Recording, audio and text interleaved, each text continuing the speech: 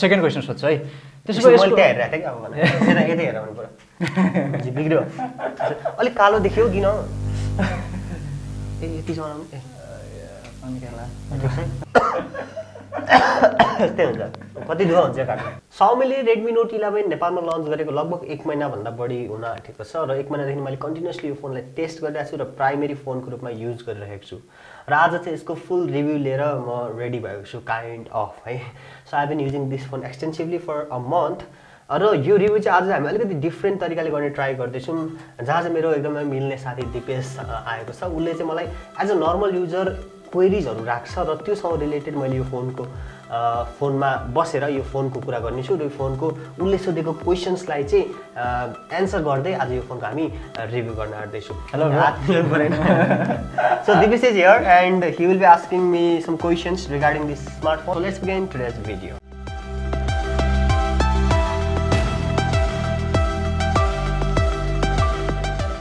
तिमीलाई चाहिँ यो फोनको बेस्ट चाहिँ के लाग्यो छ खासमा? सबभन्दा बेस्ट कुरा। ओके सो यो फोनको बेस्ट भन्नुपर्दाखेरि यसको मिडिया कन्जम्सन हो डिस्प्ले यसको डिस्प्ले तिमीले हेऱ्यौ नि डिस्प्ले। र यसको चाहिँ स्टेरियो स्पिकर छ यता र तल। होइन दुईतिर स्पिकर छ विथ डिस्प्ले डिस्प्ले चाहिँ यसको ninety हर्सको full HD plus super AMOLED display छ। बाहिर घाममा हेऱ्यो भने एकदमै धेरै राम्रोसँग देख्न सकिन्छ। जस्तै यसको पिक ब्राइटनेस चाहिँ लगभग इलेभेन हन्ड्रेडसम्म पुग्न सक्छ। वान थाउजन्ड इलेभेन हन्ड्रेडसम्म यसको पिक ब्राइटनेस पुग्न सक्छ। त्यो कारणले डिस्प्ले राम्रो छ मिडिया कन्जम्सनको कुरा गर्दाखेरि सुपर एमोलेड डिस्प्ले भएको कारणले कलर प्रोडक्सन यसमा एकदमै दामी छ कि? कलर प्रोडक्सन भनेको लाइक डार्क पिच डार्क हुन्छ होइन? त्यो एकदमै दामी छ। सनलाइट रिडेबिलिटी फिचर्सहरू यसमा अरू अरू फिचर्सहरू पनि यसमा लोड गरिएको छ। सो एकदमै दामी डिस्प्ले छ। बेस्ट थिङ यो फोनको के हो भन्दाखेरि डिस्प्ले र मिडिया कन्जम्सन नै यसको सबैभन्दा युनिभर्सल सेलिङ पोइन्ट नै त्यही हो। यो प्राइस ट्यागमा युनिभर्सल सेलिङ पोइन्ट नै यसको के हो भन्दाखेरि super AMOLED display with ninety hertz र media consumption with stereo speaker अनि अब दोस्रो प्रश्न चाहिँ यसको ब्याट्रीको के छ कन्डिसन? कति टिक्छ होइन?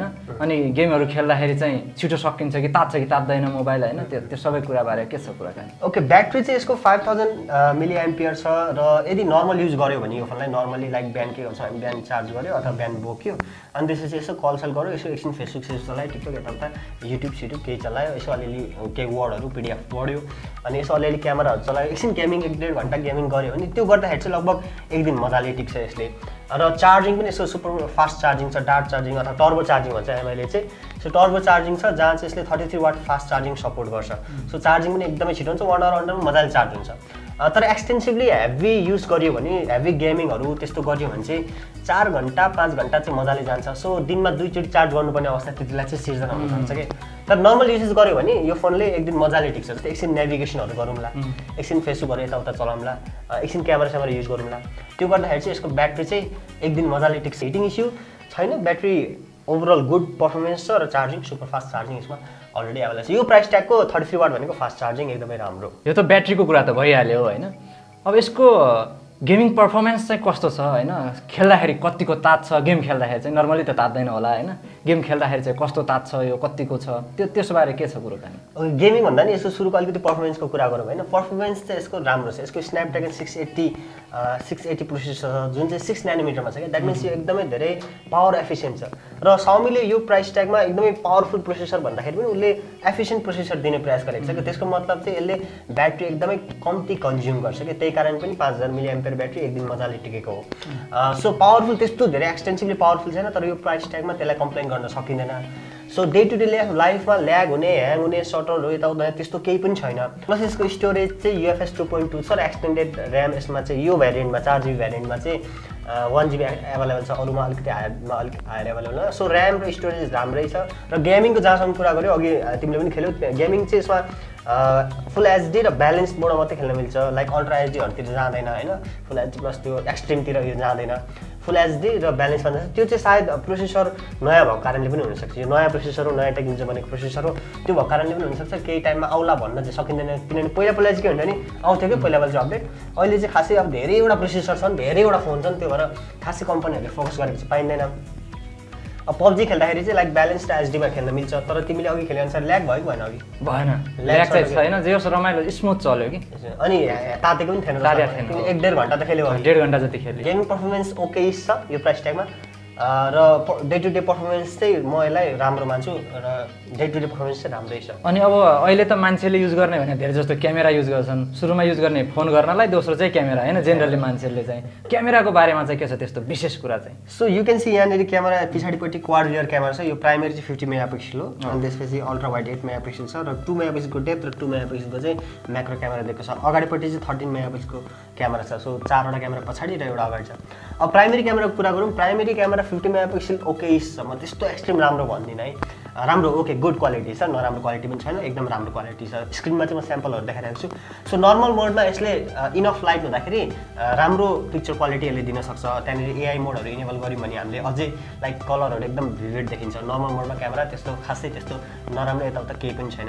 त्यसै प्रोटेक्ट मोडको कुरा गर्दाखेरि प्रोटेक्ट मोडमा खिच्दाखेरि चाहिँ मैले कहिलेकाहीँ चाहिँ स्ट्रगल फेस गरेँ कि। जस्तै तिम्रो फोटोहरूमा पनि हेऱ्यो भने अलिअलि त्यो हेयरहरू डिस्टिङ्ग्विस नगरेको जस्तो होइन। अब अलिअलि मात्रै हेयर छ भने चाहिँ त्यसलाई उडाइदिएको पनि छ कि। सो त्यसरी त्यो जुन हुन्छ नि एज डिटेक्सनमा चाहिँ अलिकति प्रब्लम चाहिँ मैले पाएर भर्सिटालिटी त्यहाँनिर हुन्छ नि त्यसलाई विश्वास गर्न सक्ने सधैँ राम्रै फोटो आउँछ भन्ने चाहिँ छैन प्रोटेक्टमा। तर अलिकति सबै कुरा मिल्दाखेरि अनि एजहरू त्यस्तो हेयरहरूतिर हामीले नेग्लेक्ट गऱ्यौँ भने चाहिँ राम्रै प्रोटेक्ट मोडहरू पनि एकदम राम्रै आउँछ। फिफ्टी मेगापिक्सलको जुन ultra main ultra HD quality छ मलाई चाहिँ त्यो बकवासै लाग्यो साँच्ची भन्नुपर्दा। साँच्ची भन्नु मलाई त्यो बकवासै लाग्यो। किनभने फिफ्टी मेगापिक्सल अल्ट्रा मोड भनेको छ तर डबलचोटि ट्याप गर्दाखेरि फोनमा चाहिँ डबल जुम अभियसली हुन्छ।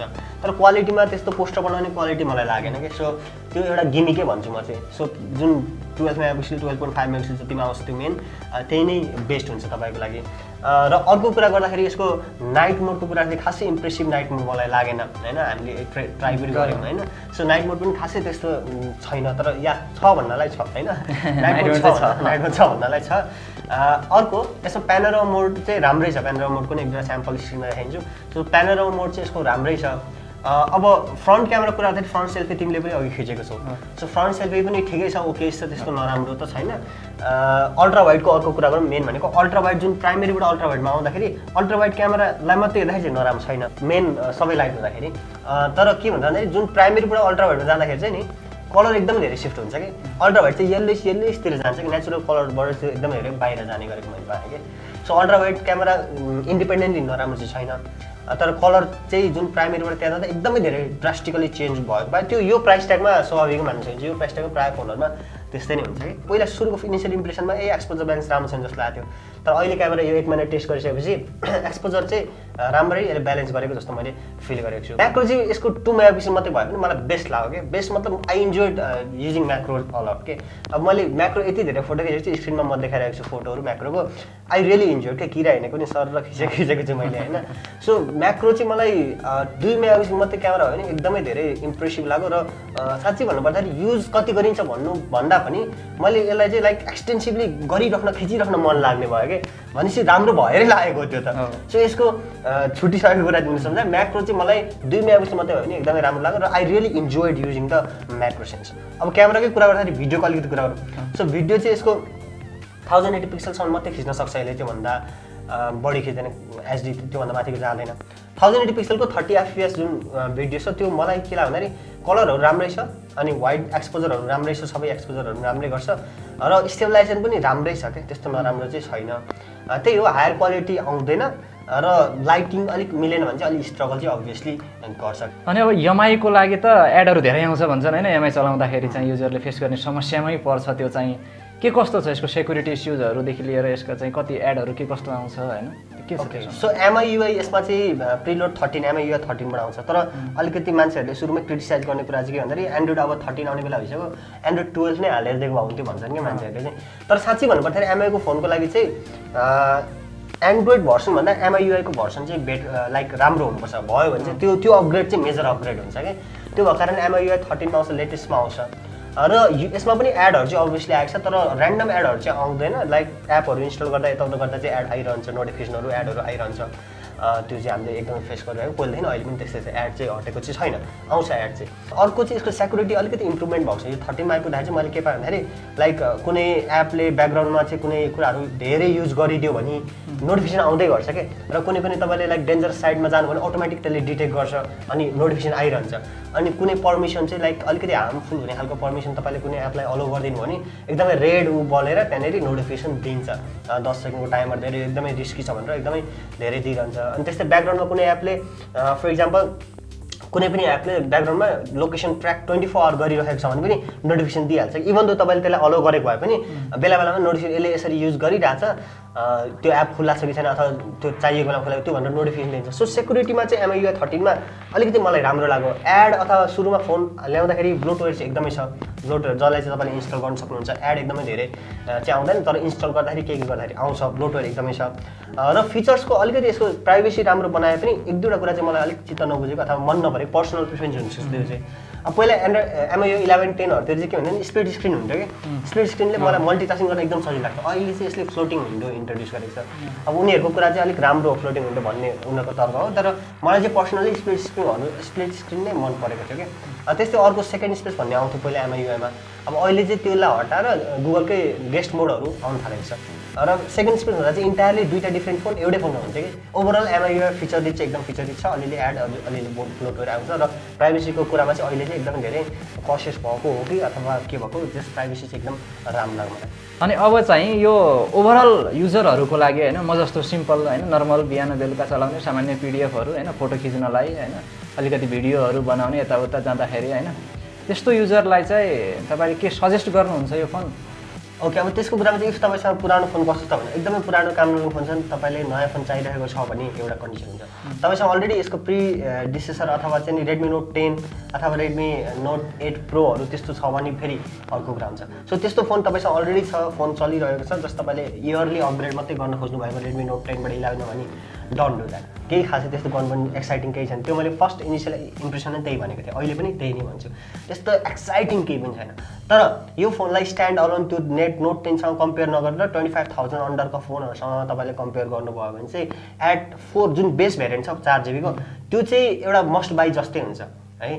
पच्चिस हजारको जुन छ अर्को यसको सिक्स जिबी त्यो चाहिँ म सजेस्ट गर्दिनँ किनभने त्यसमा तपाईँले टेन एस इलेभेन एस हरू पाउनुहुनेछ। तिनीहरूको अलिकति बढी पावरफुल प्रोसेसर क्यामेरा अलिकति राम्रो छ योभन्दा। मेगा पिक्सल काउन्ट बढी छ अरू त खासै त्यस्तो होइन। तर जुन फोर जिबी भ्यारिएन्ट छ त्यो चाहिँ म सजेस्ट गर्न सक्छु। सो फोर जिबी भ्यारिएन्ट जुन छ यो स्मार्टफोनको त्यो चाहिँ यदि तपाईँसँग स्मार्टफोन छैन नयाँ स्मार्टफोन चाहिरहेको छ अथवा धेरै पुरानो फोन चलाइराख्नु भएको छ भने पच्चिस हजारभन्दा अन्डरको फोन तपाईँले खोजिराख्नु भएको छ भने यो चाहिँ तपाईँको लागि एकदमै बेस्ट हुन्छ कि। हामीले चलाउँदाखेरि त के के तान्छ भन्दाखेरि डिस्प्ले तान्छ। सो डिस्प्ले एकदमै राम्रो भएको कारणले एकदमै मैले चाहिँ पहिला जति फोन युज गर्थेँ नि म त प्रायः पहिला फोन खासै युजै नगर्ने मान्छे कि ल्यापटप ट्वेन्टी फोर अहिले पनि ल्यापटप ट्वेन्टी फोर अनै हुन्छ। तर फोन पनि अझै बढी मैले युज गरिरहेको छु कि। सो पहिला युज नगर्ने अहिले बढी युज गर्ने भएर अलिक छिटो ब्याट्री हो कि जस्तो पनि लाग्छ मलाई। तर एकदमै धेरै म fond of using this phone हुन थालेको छ कि? The reason is the display so universal selling point display पनि छ र ओभरअल तपाईँलाई नयाँ फोन चाहिएको छ भने म I would really suggest this phone under twenty five thousand तर बेस्ट भेरिएन्ट फोर जिबीको लागि. राम्रो रहेछ एज अ होल बिस्तारै अपग्रेड गर्नु पर्ला होइन कसैले सोध्यो भने भन्नलाई थाहा भयो अब यति कुराहरू। ल ठिक छ। धन्यवाद। थ्याङ्क यू ल साथी ल। यार ल। एकछिन टेस्ट गर न अब एकछिन हुन्छ भइहाल्छ नि एक राउन्ड यसो पाउजी हान्नु पऱ्यो नि। So that was our review for Redmi note eleven है त? सो आज हामीले अलिकति डिफ्रेन्ट तरिकाले ट्राई गरेको छौँ होइन? सो अझै पनि यसको टेस्टहरू मैले एक महिनादेखि गरि नै रहेको छु। So what you think about this video अलिकति डिफ्रेन्ट तरिकाले ट्राई गरेको कारणले तपाईँको फिडब्याक एकदमै जरुरी छ। गोड एन्ड बिलो फिडब्याक दिनु होला र यस्ता भिडियोजहरू रेगुलर चाहिएको छ तपाईँलाई अफकोर्स इन्ट्रेस्टेड हुनुहुन्छ भने लाइक चाहिँ गर्नु नबिर्सला we take a lot of effort यो फोनको लागि फोन किन्नेदेखि लिएर यति टाइम टेस्ट गर्ने यो सबै कुराको लागि एकदम धेरै इफोर्ट चाहिन्छ don't forget like subscribe hit that bell icon अनि केही कुरा छ भने तपाईँले कमेन्ट गर्न सक्नुहुन्छ like share subscribe hit the bell icon stay safe and see next video good bye